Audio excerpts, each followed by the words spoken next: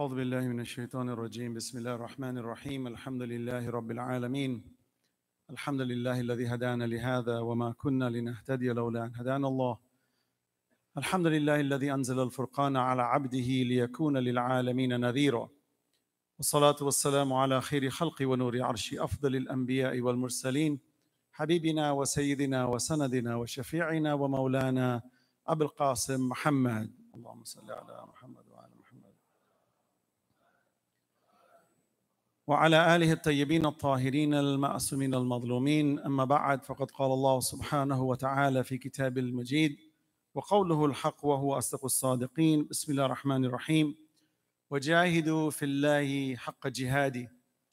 هو اجتباكم وما جعل عليكم في الدين من حرج. ملة أبيكم إبراهيم. هو سماكم المسلمين من قبل. وفي هذا ليكون الرسول شهيدا عليكم وتكونوا شهداء على الناس. فاقيموا الصلاه واتوا الزكاه واعتصموا بالله وهو مولاكم فنعم المولى ونعم النصير صدق الله العلي العظيم صلوات الله محمد وعلى محمد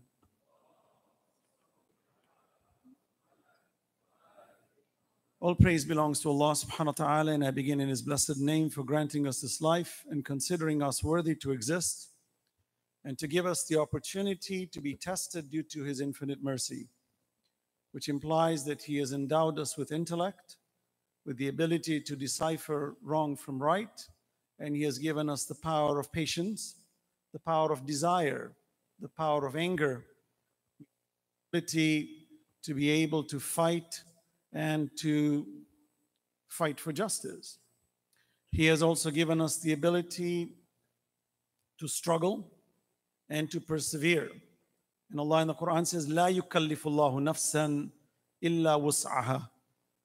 Allah does not put a burden on an individual more than that individual being able to bear. La yukallifullahu nafsan illa wus'aha. When we see the problems that we have in life today, this is by design in that Allah has allowed due to our exercise of limited free will that we can either be proponents of good or proponents of evil. And because of that factor of mixture, we find there are some human beings who prefer to take the negative side of life, where they see the glass as half empty. And then there are those who see the glass as half full. Although nature dictates when Allah says فطرة الله التي فطر الناس عليها لا تبديل لخلق الله ذلك الدين القيم Allah subhanahu wa ta'ala says this is the system of God when Allah says فأقم وجهك للدين حنيفا فطرة الله التي فطر الناس عليها It's a system of God. What is the system of God? Promote good, demote evil, and good will persevere, and you will be the beneficiary of the good. Allah says in the Quran, In ahsantum, ahsantum li anfusikum. Wa in asa'tum falaha. When you are, when you do good, you do good for yourselves. Right? So Allah says you have two options. You can promote good or you can demote it and prevent it. Those who prevent good become a burden for the rest of society. We call them in English an anathema. An anathema is like a curse, a burden on all of us. A person who is a bala, a troublemaker, a fasiq, a gossiper, fault finder, one who's a cheater, an embezzler, a liar. There are people like that in our societies who've decided to take that pathway thinking that they will achieve success. And due to their misbehavior, they cause trials and tribulations for the rest of mankind. Allah says, La yukallifullahu nafsan illa But Allah also tells us in the Quran, Inna Allah la yadhliman nasa shay'an ولكن الناس أنفسهم يظلمون. Allah does not do injustice to a human being, not at all. شيئا. Rather, it is man who does uh, wrong to each other. So if you and I examine the problems we have in life today, you will find that it's the predominance of the problem is human created, not divine creation. Now, you may think, what about earthquakes, floods, tsunamis, hurricanes? What about that? Well, in the era that we live in today, we're very intelligent people. We're very scientific. In fact, we know what causes tsunamis. We know what causes the weather patterns. Today, our power of prediction of weather is very, very good 90% plus. And we do know when floods come and when tsunamis will hit us. Did you ever wonder that when such tragedies take place, who is usually the one who suffers the most? You will find it's the poor people. The rich people, their homes are built to withstand earthquakes. They are built on high plateaus. They are designed with many factors to escape such weather conditions. So the poor people are left to become victims due to negligence of other human beings who have hoarded and embezzled the money that they should be spreading to give. And when Allah says, وَآتِ ذَا الْقُرْبَ حَقَّهُ وَالْمِسْكِينَ وَابْنَ السَّبِيلِ So when we examine the problems in the world today, it's predominantly human created. Now, if you and I do die, even if we're wealthy or well to do in a very nice home, and a bad storm takes place, it is minuscule with relations to the kind of damage that happens to the human race compared to how many human lives are taken due to the ignorance and arrogance of the human race. At the level where we start wars, we bomb people, we use all kinds of sophisticated weaponry by which to pulverize the human being, bunker busting bombs, even, that even if you're hiding under the ground, the enemy is trying to kill you. Millions and millions, just in World War II, 60 million people died. Was it a divine act? Was it human ignorance and stupidity and arrogance, which led to nothing, only to come back and to bring peace and then to restructure? What happened to all those 60 million innocent lives that were taken due to the stupidity of man? Allah says, I have chosen you, I have given you, I have endowed you with the ability to be promoters of good, but I've also given you the capacity to be destructive like shaitan. This is the reality of life. Everything comes to this bottom line.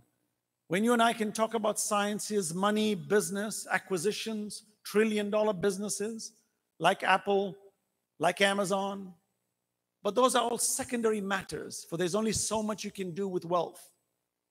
There's only so much you can do with structure. There's only so much you can do with physical entities. For the end of the day, we ask the question what's it all for? Why am I here? So now I have achieved all this mastery in the material world. What is it all for? And what am I supposed to do? You will find that intrinsically built in our fitrah.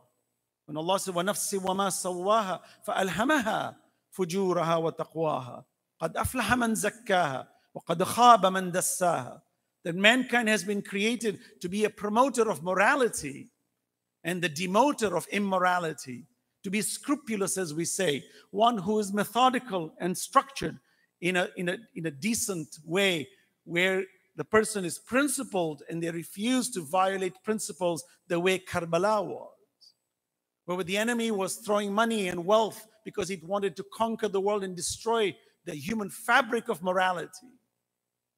And our imams and our prophets came in the way to stop it at any price, including their families we gather in these sessions to discuss this matter.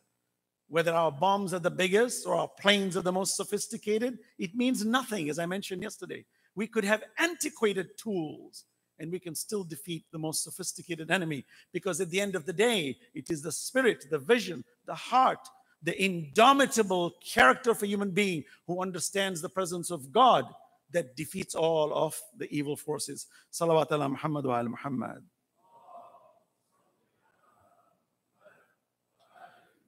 So Allah has chosen us, and you and I are liable on Judgment Day. Allah says,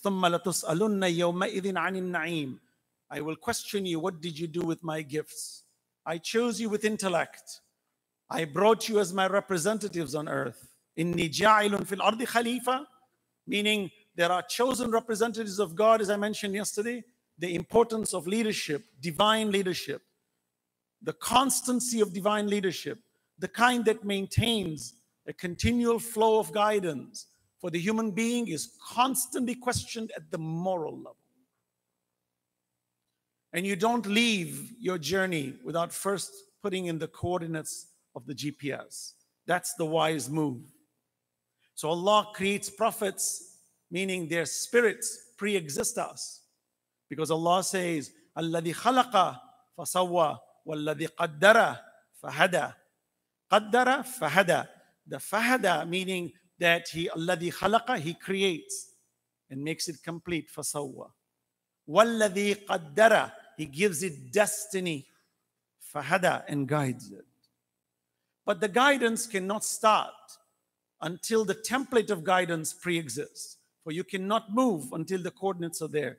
That's why the Holy Prophet sallallahu alaihi wasallam, Muhammad wa Muhammad, He said, I was there before Adam was there. What does it mean when Allah says, إِنِّي مَا خَلَقْتُ سَمَاءً مَبْنِيًّا وَلَا أَرْضًا مَدْحِيًّا وَلَا قَمَرًا مُنِيرًا وَلَا شَمْسًا مُضِيًّا وَلَا فَلَقًا يَدُورُ وَلَا بَحْرًا يَجْرِي وَلَا فُلْكًا يَسْرِي إِلَّا فِي مَحَبَّةِ هؤلاء الْخَمْسَةِ الَّذِينَ هُمْ تَحْتَ الْكِسَاءِ The event of the Kisa, where the family of the Prophet comes under the Kisa, in verse 33 of Surah Al-Ahzab, when Allah says, إنما يريد الله ليذهب عنكم الرجس أهل البيت ويطهرهم تطهيرا صلوات على محمد وآل محمد What is this purity about? When we say Allah says, I did not create the universe, nor the sun, the moon, the brightness, the whole, the seas, none of this, if not for the love of this five. You might say, what do you mean by this? It's the essential nature of what Allah is talking about. That the essential nature of leadership, our Ahlul Bayt for this earth are these five. Do they represent the universe? Yes, in principle they do. What it means is if aliens landed on earth and they became earthly beings, they would follow the principles of these Ahlul Bayt because they represent the universal truth. And if I was to travel, you and I were to travel to another part of the universe, there would be a similar component of leaders like the Ahlul Bayt who represent those kinds of creatures there. Allah says, وَلِكُلِّ قَوْمٍ had. Every community has been guided. And Allah says, وَمَا أَرْسَلْنَا مِن رَسُولٍ إِلَّا بِلِسَانِ قَوْمِ لِيُبَيِّنَ لَهُمْ We never sent messengers, but with the language of its people, so that they can explain it to them with clarity for leadership is essential, its guidance is essential. And as I mentioned yesterday, you and I cannot discount that leadership. If you and I remove it, life becomes purposeless. We now start to cherry pick leaders. We start to manufacture what we call relative morality. While it has some values in it, it doesn't take it to fruition to its fullest extent because morality is pegged in time.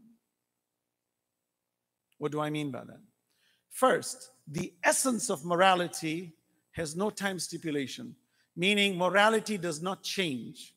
لا تبديل لخلق الله. God doesn't change his system. His system is fixed. What is that? Good is superior to evil. Evil cannot exist without good. Good exists without evil. Life has a purpose, meaningful. And when you promote good, you become beneficiary and you continue to grow. When you promote evil, you bring harm and damage and you go towards self destruction, annihilation, fana. Every living entity knows existence is superior to non existence. Hence, we are all fighting for eternal existence. Even animals are instinctually built that if there is a threatening event in their lives, they have this instinctual movement to protect themselves, to extend their longevity in the general sense. Everybody understands that. That's the system of Allah. But if I tell you, here's the reason why I say it morality is not pegged in time under the in terms of its value, is that 10,000 years ago there was a generous man or a woman who helped the needy. And if we ask from a moral value perspective, what would you say about that person 10,000 years ago? We would unanimously say that that was a good person. We would not say, well, we don't know what the evolution of morality was 10,000 years ago, so we cannot pass a judgment then. We would say, no, that person was a good person.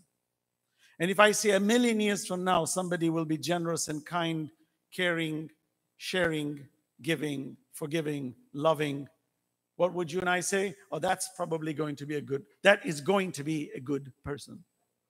But why not the scales of morality changing? Because morality doesn't change. It doesn't change in time. You notice the Quran is a unique book on earth. There is no book like the Quran in the world. It has a tasrifi style, meaning it repeats itself, but the story fragments. The only continuous story that we understand in the Quran is Surah Yusuf. Other stories of Musa and Ibrahim and the Holy Prophet, you find is fragmented in various chapters and it continues with expression in another chapter. Why does that happen? Because the Quran is not a book of stories, it's not chronologically built because it is telling you and me, I am a book of morals and I'm not bound in time. That's why Allah says in Nahad al Quran yahdi أقوم ويبشر المؤمنين الذين يعملون الصالحات أن لهم أجرا كبيرا. This book guides you to that which is most upright. What is the Quran about? It has science in it, it has foretelling, it has future, it has past, it has present, it has everything. لا رتب ولا يابس إلا في كتاب. It's in the Quran. But the objective of the Quran is to guide us morally because it is the moral argument that ultimately supersedes all arguments. That's why religion is so important. That's why belief in Allah is so important. You might say, why? Ask even an atheist, is it good to lie? Is it good to cheat? He'll tell you no. I said, good. It's working. God's template in you is working. The problem is you haven't connected to the eternal. Hence, it's temporal. It lacks true meaning. It's not a complete system. It's, it's fractured. So morality, for it to really work in its fullest extent, it needs an eternal trajectory. You cannot say to somebody, I will be honest with you for a year. Can you? You can, but you're technically dishonest. Because you're telling me that your honesty will stop. Hmm, that's not good. I will love you for 10 years. After that, I won't love you anymore. Can you imagine a couple saying that to each other? You marry a woman says, I'll, I'll love you for the next five years, and then we'll decide. I mean, you killed it. In fact, true love should be that I'd like to be with you eternally, even after this world. Don't say, I will love you while I'm alive. Say, I will love you forever. For my love for you should be forever. That is the ultimate goodness. You will notice the essence of goodness is directly pegged to infinity. You remove infinity from the equation, goodness starts to fall apart. Try it. Try to stipulate any conscious idea that's moral and good hmm? you will notice with ihsan, goodness, hasanat, if it's not pegged with eternity, it is sayyat. It lacks it. So there is, to the atheist, the idea of an eternal quality of morality doesn't compute until and unless you bring Allah into the equation.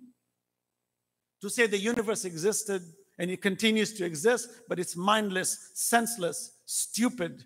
It's totally built on parameters of probability and chance. But I'd like to be moral, and my morality will die when I die. It just killed the entire moral argument.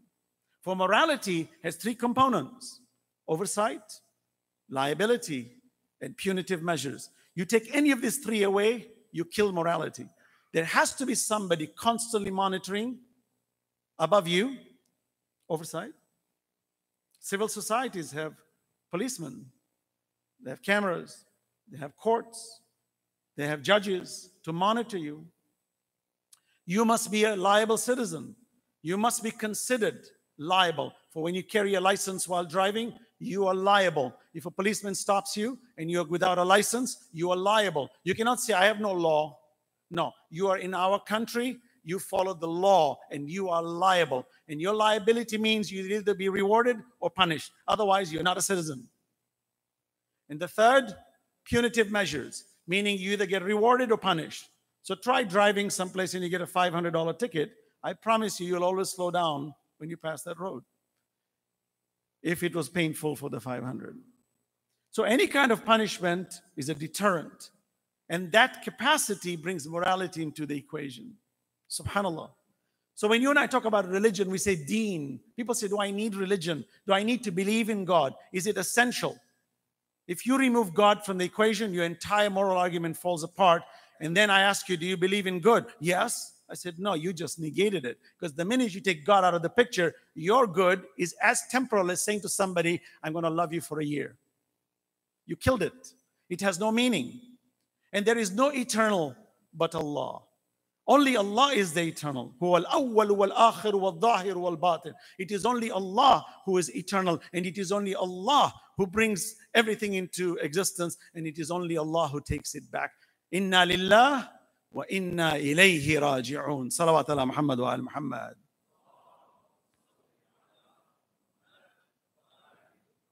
Why am I speaking like this? It will make sense for you and I to understand why Imam Hussein was where he was. Many a times we scratch our head. How could you take your six month infant child and bring it to danger in front of the enemy? The Imam is the walking, talking, moving inna lillah wa inna ilayhi raji'un, explaining to us that the meaning of this world is built on this parameter of maintaining morality, even if we have to sacrifice our six month old infants. How many of us are willing to do that? For Allah says on Judgment Day, who will be the most honorable? It's the one who kept their faces upright, the ones who bargain for nothing, no bargaining for Allah. رجال لا تلهيهم تجارة ولا بيع عن ذكر الله. When Allah says, في بيوتنا دين الله أن ترفع ويذكر فيها اسمه يسبح له فيها بالغدو والآصال. Houses which God has honored, exalted. For the name of God is mentioned through them, and they are the role models for other human beings on how to be moral, and how to be conscious of being honest and truthful. Every one of us here in this room has been a victim of some kind of, of a thief and a liar. You notice that? That is why you notice morality is the most powerful equation. These gatherings, people ask, why do you commemorate the Shahada of Imam Hussein? Ultimately, it is the ultimate template of morality. That's why the Prophet said, Hussein minni wa ana min al Hussein. Lahmuhum lahmi wa damuhum dami. Ana harbun liman harabahum wa silmun liman salamahum. Hussein is from me and I am from Hussein. Hmm? Lahmuhum, their flesh is my flesh. Their blood is my blood. And I make war with those who make war with them. And I make peace with those who make peace with them.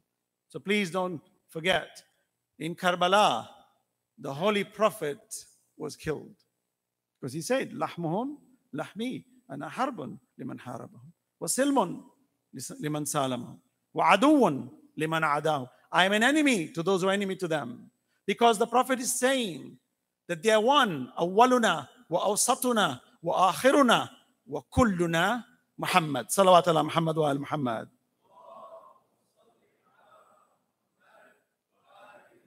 meaning all the 12 imams the holy Ahlul Bayt are an extension of the Holy Prophet sallallahu alaihi wasallam. Why? Because he is the ultimate morality. Allah said, لَقَدْ كَانَ لَكُمْ فِي رَسُولِ اللَّهِ أُسْوَةٌ حَسَنَةٌ لمن كان يرجو الله واليوم الآخر وذكر الله كثيرا Indeed, the messenger is your best role model for you. On what grounds? The moral template. He came 1400 years ago. He is not archaic. He is not past.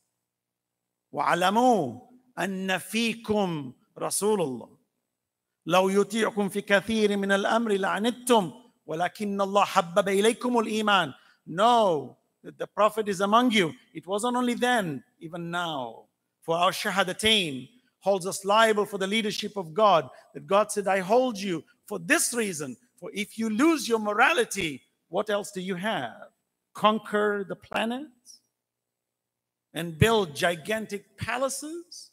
Why? When you have to die anyway. كل نفس ذائقة الموت. كل من عليها فان ويبقى وجه ربك ذي الجلال والإكرام. Everything will perish except Allah. Then what is your purpose, O humankind, when you are so egotistic, so self-centered, that you fabricate all kinds of interesting facades by which to beguile and fool the human race into thinking that you're something important when you turn to dust anyway. That's a profound thought to you and I have that you and I are sitting in this room. Tomorrow we will not exist on this earth. We will be in a different realm, and our grandchildren and great grandchildren will not even know our first names. But see how we walk around, how important are our names, plastered, for the world should know who I am. Allah says, Why? Why don't you make yourself important to me? In akramakum indallahi. The most honorable to Allah is one who's God conscious. Who's God conscious? One who's moral, who refuses to lie, who refuses to cheat, who has a long term vision to be within the trajectory of morality. And they give charity and they ensure that that poor person living in the valley who can become a victim of a flood or an earthquake, that we gather money to go save them and take them to higher grounds. Do we do that? No. We all swear within ourselves that when I become a millionaire, I'll start giving my first donation. Shaitan fools us, doesn't he? Hmm? Why? If you're less than a millionaire, you think you'll get poor if you give charity?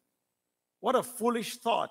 But Shaitan has fooled us indeed. And Allah says, He threatens you with poverty, whereas I call you to grace, Allah says in the Quran. I call you to grace. He threatens you with poverty.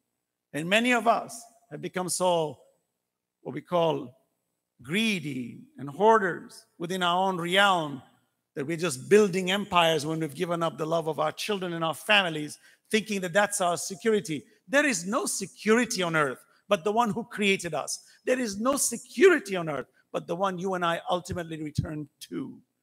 And what is security in between that? High moral standards.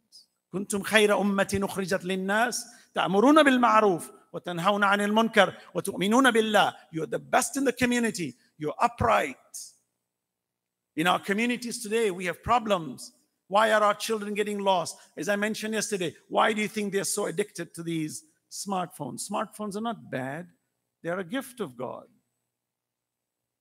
computers a gift of god they're not bad technology is a gift of allah everything is a gift of allah it's how you and I use it.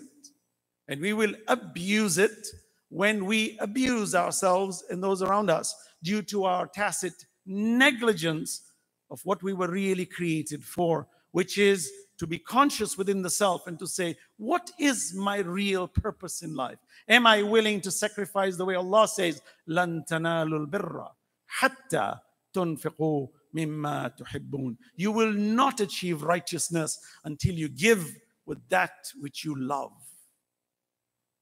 Are we willing to do that? I believe we are if we understand what was just discussed, meaning the moral argument, the eternity of God, the religion that God has placed upon us by which to make us moral individuals, individuals who will not cheat nor lie, who will love and care for humanity because God loves them. Not because I love them, no, because Allah loves them. The way Zainab salam talks to Imam Ali salam when she was four years old sitting on his lap. She says to her father, Do you love Allah? He says, Very much. And al Mu'mineen says to his blessed daughter, Very much. And she says, Do you love me? Four year old, subhanAllah, precocious child, full of wisdom. You might think, no, it's only a four year old, doesn't know God. Let's not fool ourselves. These young children, I don't care if they're two years old, they know Allah. They just talk a different language. They are the most beautiful representations of Allah. Children, innocent, unadulterated, straightforward, soft, as we say in their spirituality, easily, met, you know, taken in the right direction. And then these children grow up to become traitors and thieves and you wonder, how did you get here? Somebody abused them at a young age. Somebody confused them at a young age. But they're pure, they're beautiful. So Zainab is looking at her father, Do you love me? He said, I love you very much. She says to him, How can you love me and God at the same time? What she means is that my love that you have, your love you have for me, is now a distraction for your love of God? For now you have to choose between the two loves. Brilliant question. And Imam replies with a smile, I love you because Allah loves you. See how he put it in structure? She asks him a very interesting question.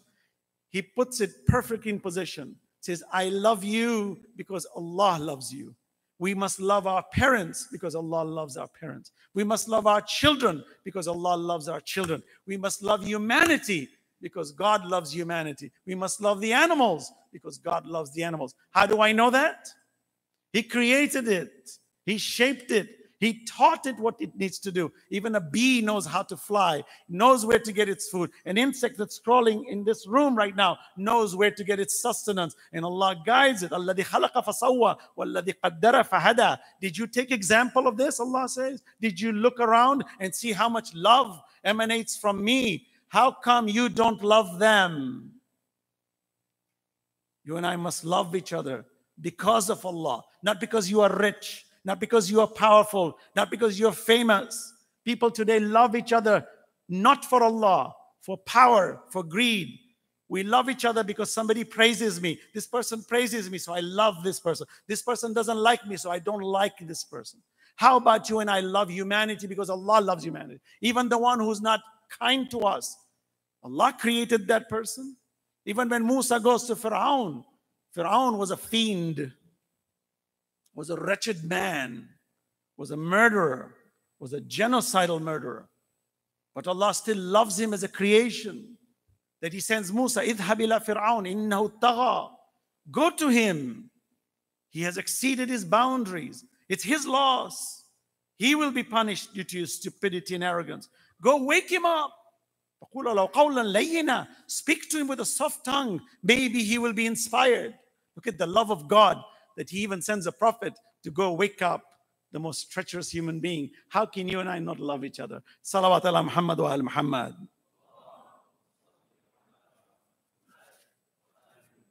Within this short time that I have, I need to finish. This verse, even yesterday, which I mentioned in Surah Al Fath, the last verse, Muhammadur Rasulullah, والذين معه أشداء على الكفار رحماء بينهم Muhammad is your messenger. وَالَّذِينَ مَعَهُ أَشِدَّاءُ عَلَى الْكُفَّارِ And those who are with him are firm against kufr. وَالَّذِينَ مَعَهُ أَشِدَّاءُ عَلَى الْكُفَّارِ Imam Hussein alayhi salam, أَشِدَّاءُ عَلَى الْكُفَّارِ Firm, indomitable. Ali ibn Abi Talib alayhi salam, firm, does not bargain when it comes to promotion of good. Firm, not ISIS-like. Not the one who holds a gun, Allahu Akbar, and beheads not the one who stones people. That's not Islam. This is not Islam. Not to go and belittle Christians and to burn their churches and to burn the synagogues. That's not Islam. No. The Islam of Amir al Mu'mineen, that Imam Ali is on the battlefield, he's smiling towards the enemy, trying to invite them for the last second that maybe you will change your mind before I dislodge you from this world as a kafir. That kind of care, that kind of love, boil it down to you and me on a day to day basis, the work we do, the people we meet. If you and I do not affect them through such leadership, then we have failed. Allah says, Ashiddaw al kuffar, ruhamahu baynahum. They are merciful to each other. Karbala was like that. 72 companions, but merciful to each, each other. So Allah in the Quran is telling us who are they? Hmm? تراهم ركعا سجدا يبتغون فضلا من الله ورضوان سيماهم في وجوههم من اثر السجود you will see them earning the grace of God with ruku and sujud and you will see marks on their faces because they have given correct value to deen they know why they exist and they know they have a duty Allah says who are they their work raises trees firm trees whose fruits are so great that they enrage the kuffar لِيَغِيظَ بِهِمُ الْكُفَّارِ because they are so good the enemy can't do anything because they are so just the thief cannot steal because they are so balanced the bigot cannot practice bigotry this is the adalat of leadership that we talk about This leadership needs to be central in our hearts. That when we cry for Imam Hussein, when we cry for his family, when we cry for his companions, they are our leaders. That 14 centuries later, we can never forget them. And that becomes the spirit of all these projects. The kind of projects different from other schools, different from other masajid, different from other churches and synagogues. The one that hits the trajectory, the one that hits the mark, the one that's designed to hit bullseye, because that's the agent of God. Like Allah said, لَقَدْ كَانَ لَكُمْ فِي رَسُولِ اللَّهِ أُسْوَةٌ the messenger for you is your best role model. But who? For the one who wants to return to Allah. لِمَنْ كَانَ يَرْجُ اللَّهِ What does it mean? Meaning they've taken into account every transaction, God is watching. Every promise, God is watching. And I'm not going to cheat you, nor am I going to lie to you, because I know either today or tomorrow or 100 years from now, I am returning to God. And He is going to question me about how moral I was. لِمَنْ كَانَ يَرْجُ اللَّهِ وَالْيَوْمَ الْآخِرِ and they remember the day of judgment. وَذَكَّرَ اللَّهَ كَثِيرًا And they remember God often. How? How do you remember God often? Constantly giving charity, constantly blocking gossip, constantly refusing to find faults, constantly forgiving, constantly loving, constantly caring, constantly sharing. This is what Allah means, وَذَكَّرَ اللَّهَ كَثِيرًا This is the attitude you and I need to have. Otherwise, we're not complete Muslims, brothers and sisters. Salawat ala Muhammad wa ala Muhammad.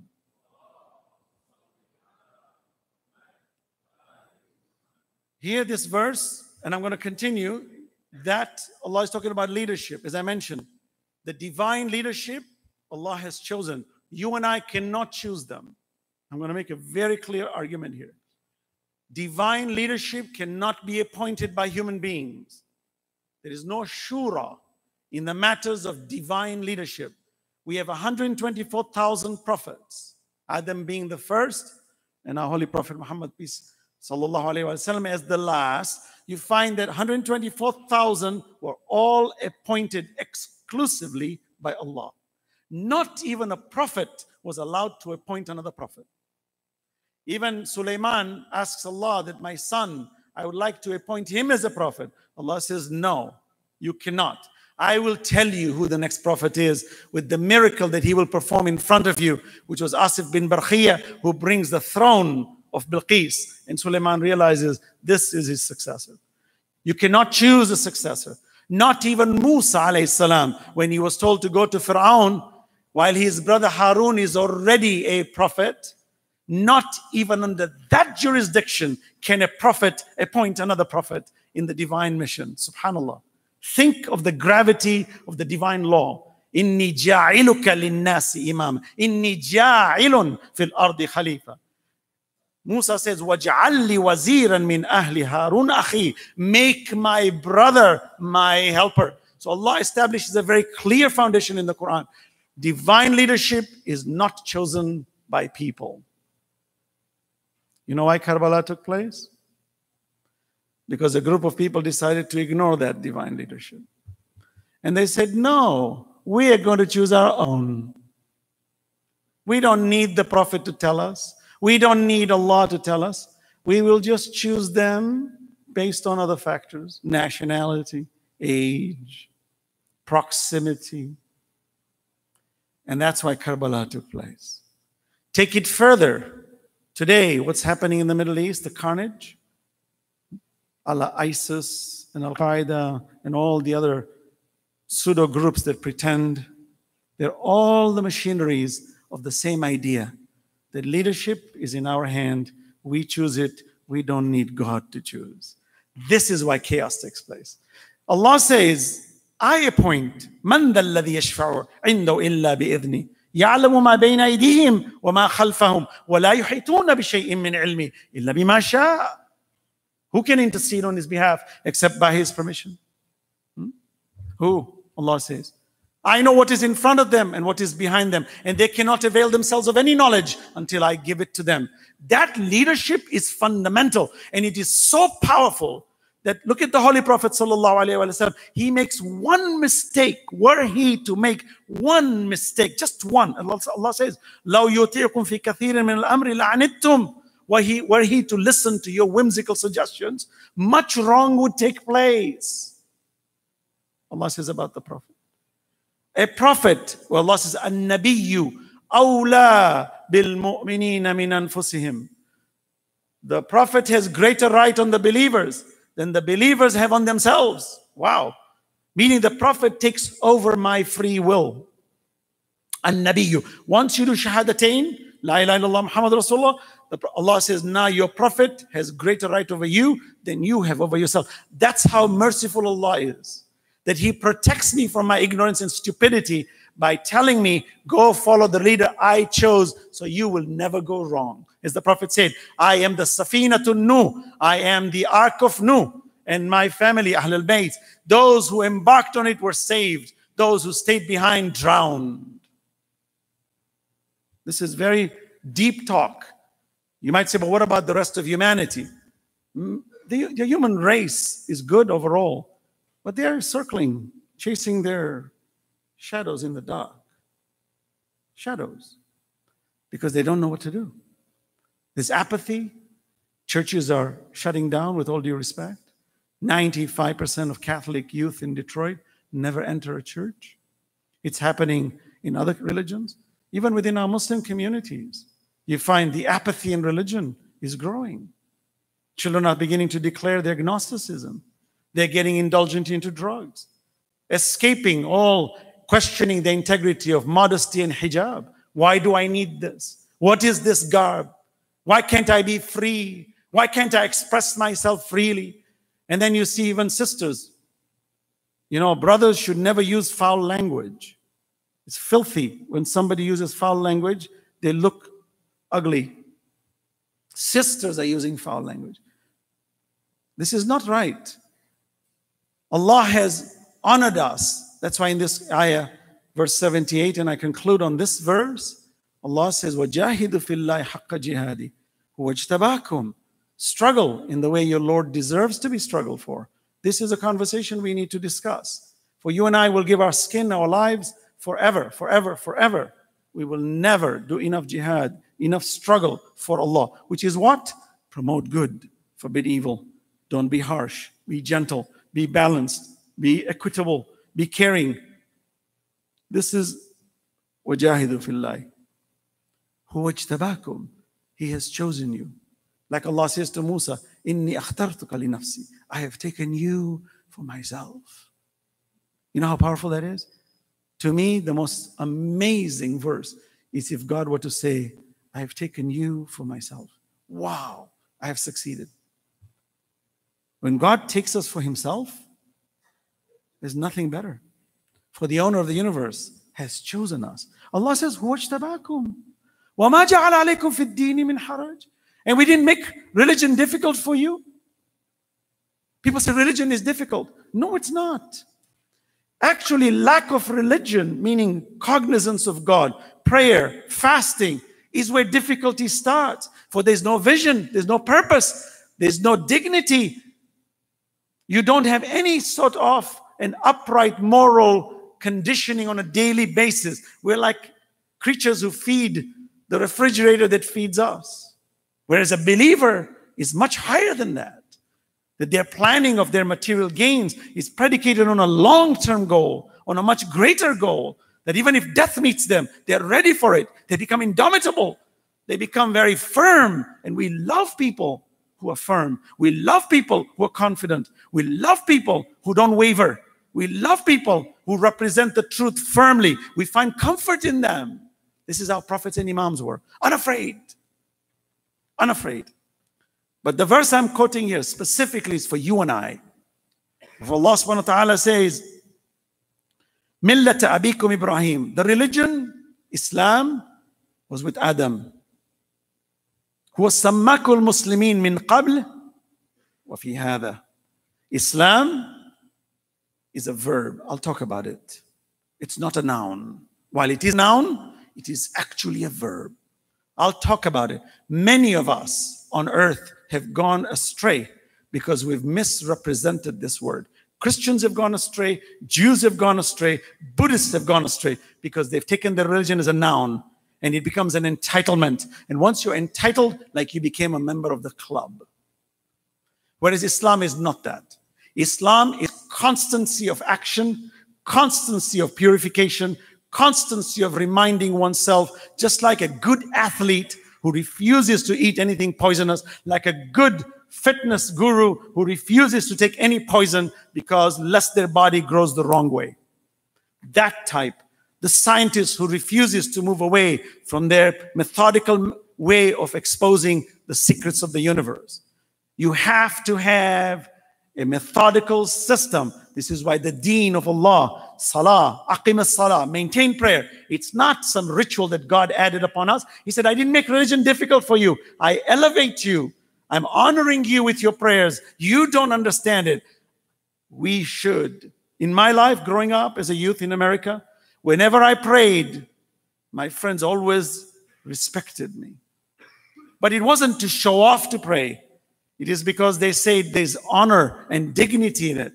But then you realize if my friend likes me because I pray, then I better act with what I just prayed to and for so that I can represent the prayer better because the prayer is not the end of the goal, it is the means to the goal. That's why Imam Hussein salam in Karbala prayed. He lost half his army. Half his army was, was shot with arrows. He didn't care. As-salah, as-salah. Why? Because that's what the prophets and imams came for. To teach us discipline, to be moral and upright, and to maintain the constancy of the Quran in its nature, to constantly be balanced and to understand what the value systems are. But here's the most profound part. Well, Allah subhanahu wa ta'ala says, ليكون الرسول شهيدا عليكم وتكونوا شهداء على الناس this is very powerful. Struggle so that the prophet is a witness over you, and you are a witness over the people. You and I are being addressed in this verse. We think the imams and the prophet do God's work, and then we're on the sidelines cheering them. Ya Hussein, Labbaik, we wear zulfikars, we tattoo Hussein. We're just observers. We're cheer cheerleaders out there. Hey, we love you, Ali. We love you. Haydar. Imam Ali is looking at us and says, No, no, no, no. You're not in the crowd. You're in the arena with me. God and his angels are in the arena watching us. They're in the crowds watching us. You and I are here. So let's not take a sidestep. So, you know, let Allah take care of this Islam and let the Prophet do Islam and let Imam Sahib Zaman adrikni assa al-ajal, you know, ilahi adum al-bala. There's a bala. Imam is replying us. What are you doing? No, no, no. We're waiting for you to come and fix it. We're just observers. Quran is saying, no, no, no. You are not an observer. In fact, the Prophet is your witness and you are the witness over the people. So what does Allah conclude? Listen to what Allah concludes. Brilliant. Allah says, وتكونوا شهداء على الناس فأقيموا الصلاة وآتوا الزكاة واعتصموا بالله هو مولاكم فنعم المولى ونعم النصير therefore uphold prayer not prayer like this that we talk about salah no no no that's one main component of it meaning stand up as a moral human being who represents God as a moral human being فأقيموا الصلاة وآتوا الزكاة give charity help others care for humanity and hold on to him he is your helper you will succeed tonight we conclude that those who ended up in Karbala with Imam Hussein alayhi salam history shows that Imam left Medina to go to Mecca they wanted to plot to kill him in Mecca the enemies but the Imam loved the Kaaba so much he said, This is the house of God. And God has chosen this house. إن أول بيت وضع للناس للذي ببكة مباركة وهدى للعالمين. It's a guide for mankind. That even when the Holy Prophet took over Mecca from the, from the Meccans who were pagans, he minimized bloodshed. He strategically came in the evening time and he made sure there was no bloodshed. And he psychologically controlled Abu Sufyan and made Abu Sufyan to surrender without bloodshed. The next morning, there was an attempt to create bloodshed. The Prophet prevented it. He said, No, this is a sacred house. It is not a house built on blood, it is a house built on worship, on mercy, on grace, on freedom, on equity. Imam Hussein did not allow that either, for they were going to kill him at the Kaaba. He said, I will not allow bloodshed in this house. I will leave. So the army of Yazid had already arrived in Mecca, the spies, and they were ready to kill the Imam. He said, No. That is why he left Mecca. He took his family, he took his women, he took his children. Proof positive, he was not hungry for power, nor was he going towards Karbala. He was going towards Kufa. Nor was his intention to fight, for he had no intention of facing Yazid's army. But the Imam left with his family on the basis of truth. And Yazid said to him, Give bay'ah. Give us your allegiance that I am a legitimate caliph. Imam says, I will never do that. Notice how they're demanding a human being to appoint a leader. Whereas Allah chooses leaders, divine leaders. Imam says, I'll never allow that. And I as I mentioned yesterday, the wasiyah of Imam, leaving to Muhammad ibn Hanafiya, I am not going to be insolent. I'm not going to be stubborn. I'm not going to fight. I am the promoter of truth and forbidder of evil, and I follow the sunnah of my grandfather and my father, for that is the sunnah of Allah subhanahu wa ta'ala. So he leaves his children, family, his young son, Ali Akbar. They say Ali Akbar was an image of the Prophet. If you wanted to see the Holy Prophet, look at Ali, just look at Ali Akbar. He looked just like the Prophet. Historians say that when he was on the battlefield, people, the enemies would come near him and they'd turn back, remembering that was the Prophet. He said, That's the Prophet fighting us. That's how Ali Akbar resembled the Prophet. But the Imam let him go, kissed him and let him go. We need to talk about that. That power to sacrifice everything for the sake of truth. Imam negotiates. When he reaches Karbala, he negotiates with Umar ibn Sa'd. Umar ibn Sa'd was the commander in chief of the army in Karbala. And Imam is negotiating him for days. And he's telling him, Look, I don't want to ever fight with you. You know who I am. You know where we stand on the pedestal of God. Don't fight us, for it is your destruction and you will be exposed and destroyed if you touch us. We are the chosen agents of God. Ibn Sa'd knew the Imam very well. His family knew the Imam very well. He tried, he sends a letter to Ibn Ziyad that look, Hussein ibn Ali salam, is ready to go to India. He's ready to go to India and not fight your caliphate. He's going to leave you alone, but don't corner him. But the annals of history is greed, power, like wars.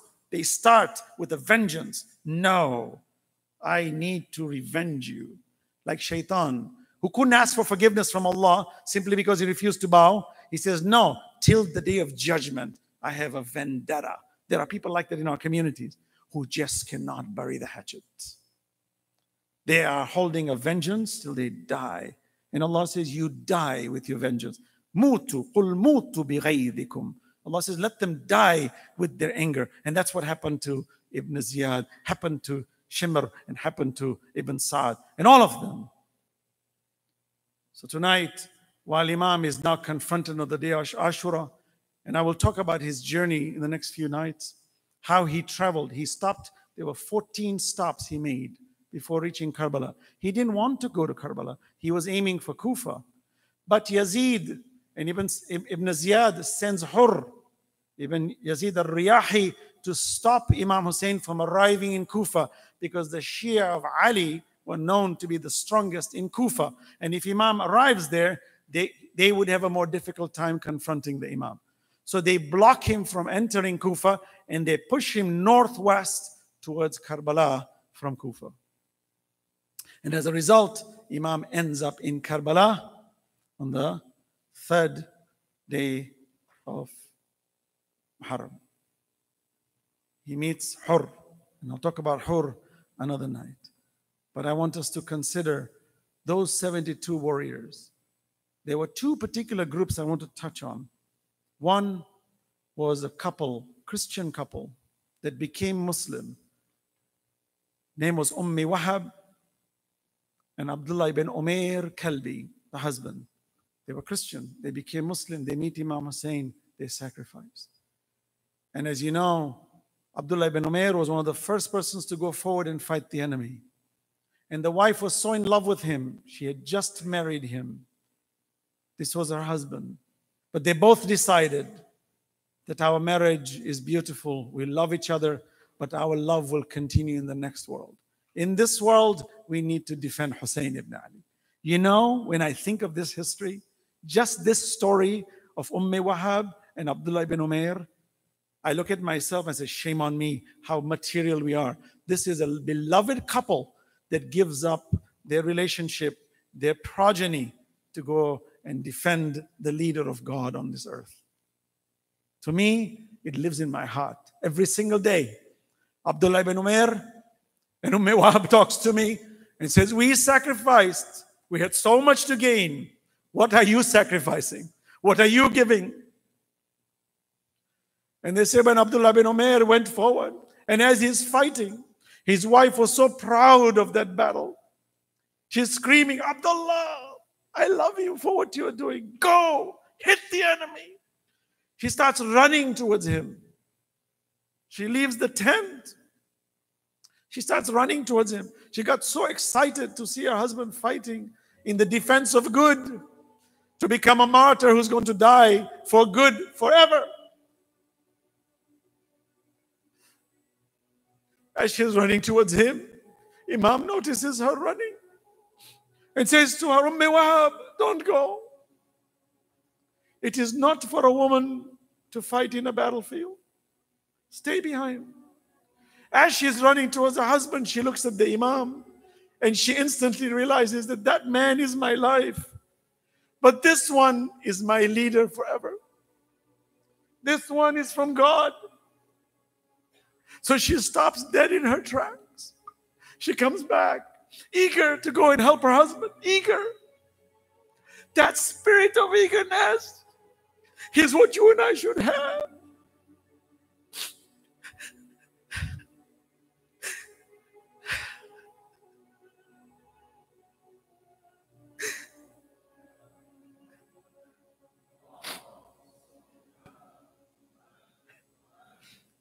She watches her husband. Her husband turns around and says to her, Wahab, don't come. I'm fighting. And when he turns around, the enemy slices his finger. He doesn't care. Looks at the enemy and continues to fight. She patiently watches until he's hit so hard on his head, he falls. Now he's bleeding. The enemy runs away. Now she gently goes towards the body lying on the floor. She said, I want to bid him goodbye. This is the man I just married. He takes his head, puts it on her lap. She's caressing him, says, My love, I am so proud of you. The enemy notices this woman sitting there in their rage and anger. They come and they strike her also and she becomes Shahida. She dies with her husband on the battlefield. That's the kind of sacrifice at a very high level. And there was a man by the name of Uns ibn Harith. He was, some historians say, over a hundred years old. He was so old, his back was arching. He's getting ready to fight for Imam Hussein. They say his eyebrows were hanging, he couldn't see. Old he takes his turban and he ties his eyebrows. I'm thinking 14 centuries later, much younger than him. Where did you get this energy from, old man? Oh, Ibn Harith Asadi. Who are you? How did you reach there? How did you have that strength to take your belt and tie it around your eyes? because you want to see the enemy in your old age. How did you hold that sword? He says, I love my leader so much that I could be 200 years old, but I'm never going to quit to defend the way of God. Uns bin Harith becomes shaheed. على لعنة الله إلى القوم الظالمين وسيعلم الذين ظلموا أي منقلب ينقلبون صلوات محمد وآل محمد